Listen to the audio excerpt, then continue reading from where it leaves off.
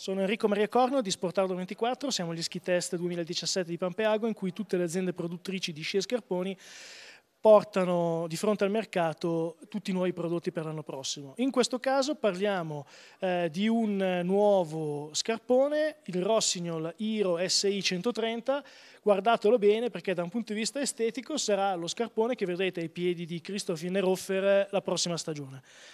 Parliamo quindi con Massimo Ramella, il promoter di Rossignol, dici tutto di questo scarpone e già che ci sei raccontaci quali sono le differenze tra quello che troviamo in negozio e quello che in Nerofer effettivamente mette ai piedi.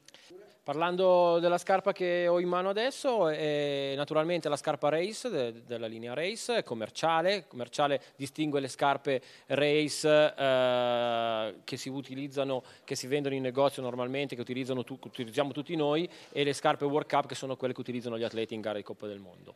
Questa scarpa qua in particolare nasce dalla scarpa di Coppa del Mondo, quindi la forma dello, scapo, dello scafo è assolutamente identica, eh, naturalmente la pianta del piede è diversa e, e gli spessori delle plastiche sono diverse. Per quel che riguarda questa scarpa qua abbiamo un 97 di pianta e un flex di 130.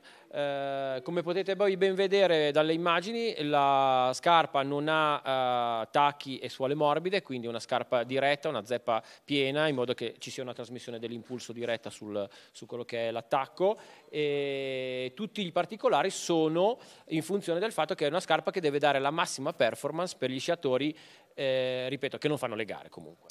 Quanti tipi di eh, flex, di durezza ci sono sull'Iro eh, SI?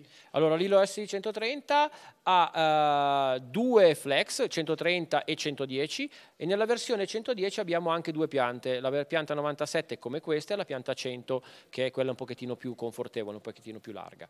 E per quel che riguarda invece le differenze tra questa e la scarpa che poi avranno i piedi Cristoferino e Roffer, uh, semplicemente, come vi ho detto prima, eh, la scarpa World Cup è molto più stretta in pianta e ha delle plastiche eh, più spesse e cambia la scarpetta interna. Eh. Il resto, la forma dello scafo, quella che vedete qua, è la stessa.